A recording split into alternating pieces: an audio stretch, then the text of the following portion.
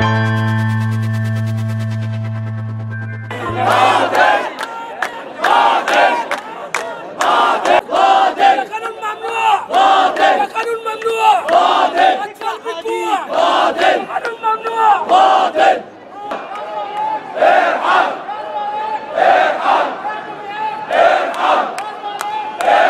أسباب الوفره إن الضرائب العامه بصفة خاصة بتجيب حصيلة للدولة.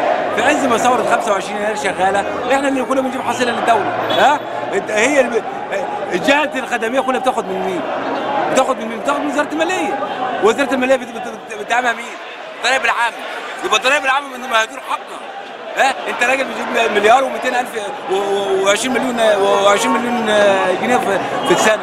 ها؟ بتودوهم في إيه؟ بتودوهم فين؟ بتودوهم جهه خدميه طب ما أنا اللي بجيب لك الفلوس ها؟ ما بتعملش كيان لراجل لصاحب الشيء ليه؟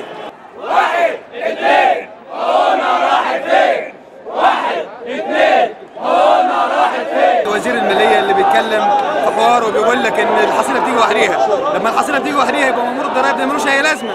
وبالتالي أصلا طالما الحصيلة بتيجي وحديها يبقى بالتبعية القيادات اللي في وزاره الماليه وفي وزاره الضرائب ملوش اي لازمه برضه اذا المامور ملوش لازمه يبقى القياده بتاعته ملوش اي لازمه إحنا بنتعب وبننزل الشوارع بنعمل معاينات وبنعمل مناقشات وبنعمل اطلاعات وبنتعرض للإهانة وبنتعرض للشكاوى والقضايا. النهارده اسباب الوقفه إيه بالظبط؟ عشان الوقفه الغاء مركز كبار الممولين مركز كبار الممولين بياخد 50 شهر وإحنا مأموريات ومناطق بناكل طين. اولا 2000 جنيه هيأكلوا إيه؟ دلوقتي مأمور ضريبي بقاله 10 سنين شغال. إلغاء القانون عشان القانون ده فيه مادتين العبد والسين هيخلي رئيس القسم ومدير الإدارة يشغل المأمور عنده. يروح يشتغل في البيت ويروح ينظف له البيت. اولا فين حقوقنا؟ يعالج القانون ويعالج المطالب ويعامل القانون على مستوى الجمهورية كلها. مش يستثنى طائفه ويحط طائفه إحنا عايزين حقوقنا. حصيلة الحصيله الضرايب دي اللي بتجيب حصيلة الدولة 350 مليار وما بناخدش حقوقنا. فين حوافزنا؟ فين مكافآتنا؟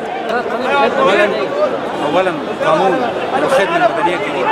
اولا قانون الخدمة المدنية الجديد هو قانون فاشل.